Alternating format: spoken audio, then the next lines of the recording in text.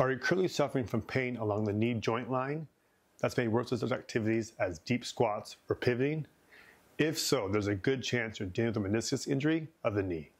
Welcome back, everyone. My name is Dr. Zach Goode, here at Performance Sport and Spine in Seattle, Washington. And in this video, we're discussing all things meniscus, how it presents, what its function is, its anatomy, and the best exercises to fix this. And also why for most people dealing with this injury, getting the meniscus cut out is the last thing you want to do. If you look at our model of the knee, we got the big thigh bone or femur, the big shin bone, tibia, and the smaller bone, the fibula, and then the kneecap. And this joint has these two blue things. Well, these are the meniscus. And these are fibrocartilage that act as shock absorbers and help with lubrication, stability of the knee joint. And you have one on the inside or the medial. This is larger and less mobile and more often damaged. And then one on the outside or lateral, and this is smaller and more mobile and it's more likely injured for young people. And with this meniscus, it's really important for the joint and that stability and that load transmission for things like running, cutting, and jumping, and it helps distribute the force so it doesn't go into the bone. Now, it turns out meniscus damage and injuries are four times more likely in males than females, and the knee is the most common joint that has injuries. Now, when you think about the meniscus, think about something that helps absorb the force. Well, let's say you get a little tear. In the past, people have wanted it cut out because it reduces their symptoms in the moment. When you think about it, if those bones are pushing down and that meniscus, that shock absorber is gone, now some of that force that should be going to the meniscus is now going to the bone.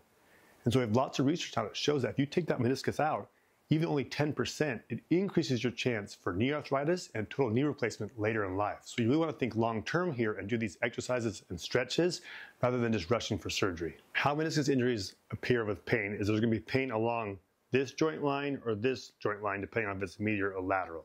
Now, if you have pain more on this tendon or this tendon, it's probably patellar tendonitis, and here's a link for that. Or if your pain is kind of around the kneecap or underneath, that's worth with going downstairs and deep squats. It may be patellofemoral pain, and here's a link for that. Now, with meniscus, it's often worse with pivoting, deep squats, or twisting. You can have some popping and snapping. Often early in the injury, there'll be some swelling, and if it's very severe, if the tear is very severe, it can actually cause mechanical locking or giving away. And the giving away is a very important indication that you may need surgery. If you don't have mechanical locking or giving away, it's very likely that rehab and exercises can fix your problem. At this point, if you found the video beneficial, please like the video, subscribe to our channel, and then don't forget to check out our other great videos. Now we're going to talk about what causes meniscus tears. We got to break into two categories. We have an acute traumatic, which is probably a single event, and then degenerative. So for acute traumatic, think of like a 13 year old soccer player. No knee pain, meniscus is fine, playing soccer, does some sort of thing where she plants her foot, flexes and twists. Here's a pop, has some acute pain, maybe it's catching and locking, or less likely, maybe a direct blow to that knee, where that one event is going to cause the meniscus. So she had MRI Thursday, it's fine, plays her game Saturday, MRI Monday, it's going to show a difference. And it's really acute trauma, and there's often swelling. Now, another case would be a degenerative tear. So think of someone in their 40s. They haven't been working out a lot, they've gained some weight, they're working a lot. They decide to go running. Well, they run way too much, way too quick, and they get knee pain. Well, if you go and get an MRI, you're probably going to see some changes. As we have studies here that show that a lot of people in their 40s have meniscus tears without any pain at all. So this is a classic example of just doing too much too fast. Not that the MRI would have been fine on Thursday and then positive on Monday. That tear has been there for a long time. We have to slowly build the muscles up to protect it. So this lateral group the second group is what we're looking for. The acute trauma may need surgery, but for people that have degenerative tears, there's so much research that says that PT is the same as surgery. They've shown that surgeries that are sham, where they don't even remove the meniscus, are the same as real surgeries at 12 year or 12 month follow up. So what I'm trying to get to you is that with these degenerative tears, you may need to dial back a little bit, but almost all of them can be fixed with just rehab and exercises. Let's dive a little deeper into what a meniscus is. So each meniscus is made of three parts. So there's this outer part that has blood supply, or it's vascular, called the red zone. So it heals well if it's torn. Now that inside part, the middle third, is called the red-white zone. Now it has a little blood supply, but not a lot. So it also can heal some, but not as much as that outer zone. And then the inner zone is called the white zone. It doesn't have any blood supply.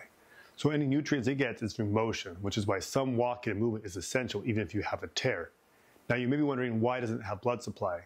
Well, the reason is, is the collagen fibers are at a cyclical orientation to help. So when the force comes down, it helps distribute it on the bone, which is why you don't want to remove it. If that force that doesn't go into the meniscus goes into the bone, you're going to have more chance of arthritis later in life. But for the rehab exercises, we're going to make sure the knee has full range of motion. So fully straighten it and then bringing your heel back, which is flexion. We're going to give you two options for both, but make sure you can get 180 degrees or basically straighten your knee fully out and then bring your leg back to 120 degrees with minimum pain before you start the exercises. So one of our favorite exercises for getting flexion of our knee is to be in this rock back position with a pad under our knee. And we're going to just push our hips back towards our heels to help increase the angle of the knee and kind of use your body weight to do slow and controlled to help promote flexion of the knee. Now, if this hurts too much, what you can do is put more weight onto your other knee and rock back with most. So, say my right knee was a painful one, I'm putting most of my weight into my left knee. Band assisted flexion. So, if our right knee is what we're trying to promote flexion, we're going to put a stiff band around our foot, attach it, and then we're going to pull the band towards our chest to help assist the flexion. You can use your arm to push it back into extension and again, try to use your leg, but also that band to try to promote and pull your heel towards your buttocks as far as tolerable. Use your hand to press back out.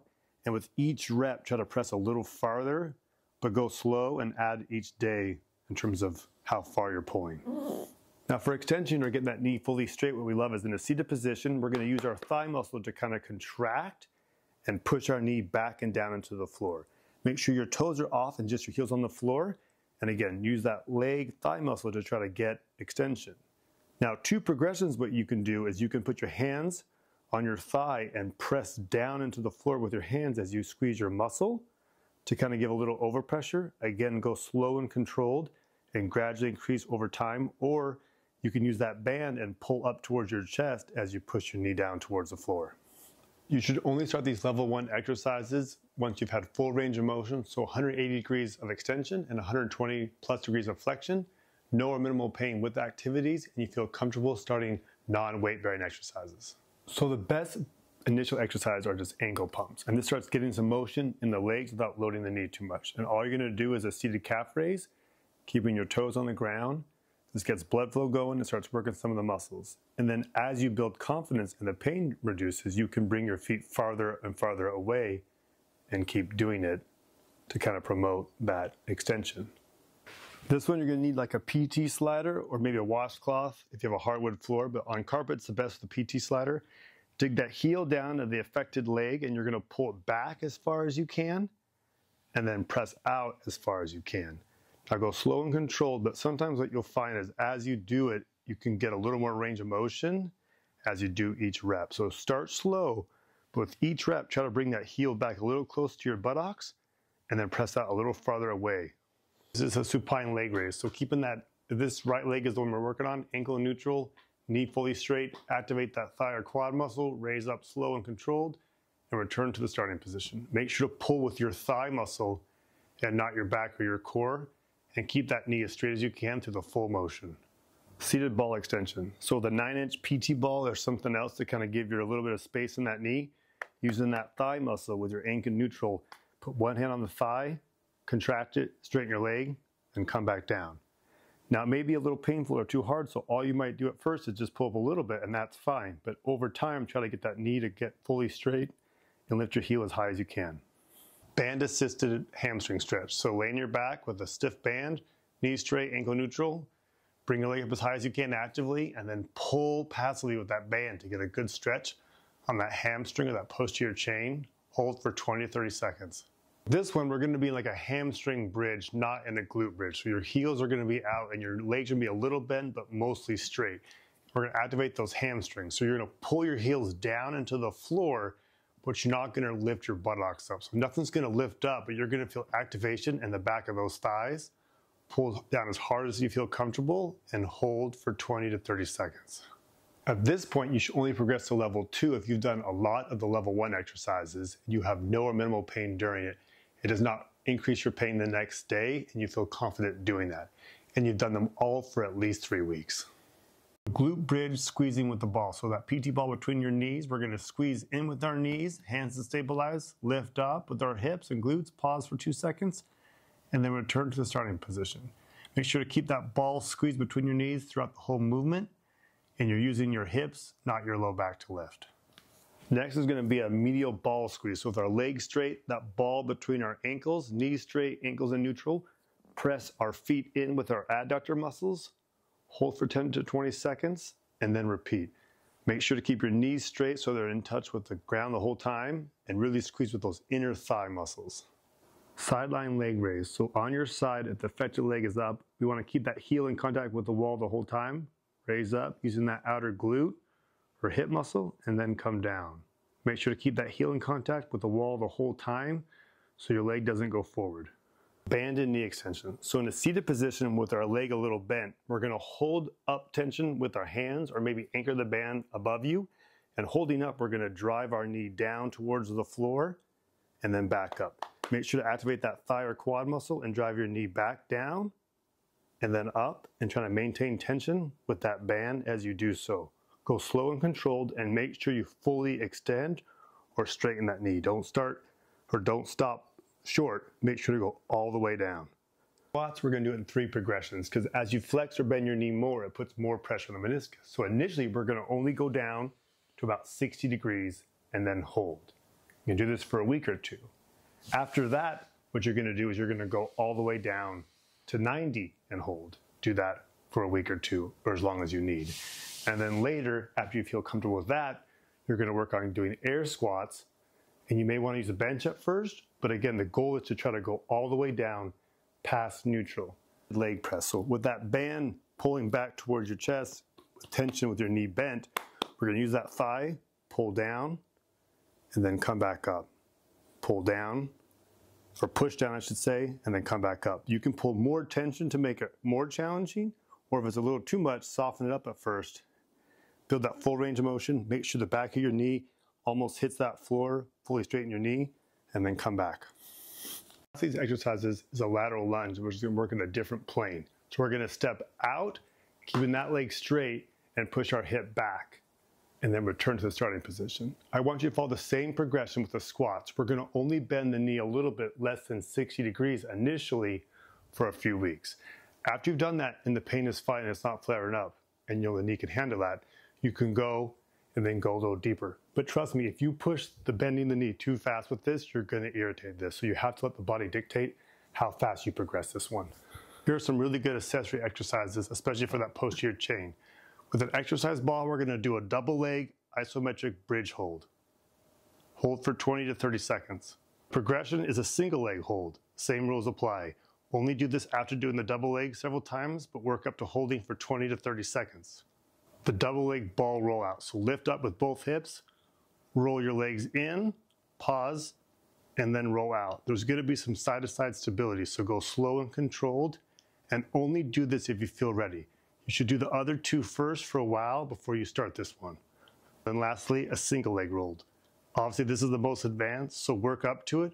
It's a great killer at the end, but if you go too fast, you're gonna flare the knee up, so only make do it if you make sure you're ready for it. Ask me to talk about movement is medicine. I think a lot of people think that if their meniscus is torn, more motion or more movement is just going to hurt it more. But the body's adaptable. And what they're finding is that when we move with these tears, it actually promotes healing, promotes nutrition, promotes lubrication, and it promotes increasing muscle mass to stabilize that joint. So you probably can't walk as much as you want initially, but it's really important that you start doing something. Cycling, using a treadmill or elliptical can be really good additions initially to start getting the motion in the knee without too much weight bearing. So what I'm trying to get here is keep moving, maybe reduce a little bit, but the goal is to get back. And over time, that body's going to adapt and figure out. And so even if that tear never fully resolves on MRI, your pain and function will be restored and you won't care. Thank you for watching our video on meniscus injuries. We hope you found it helpful and beneficial. If you did, please like the video, subscribe to our channel, and then don't forget to check out our other great videos.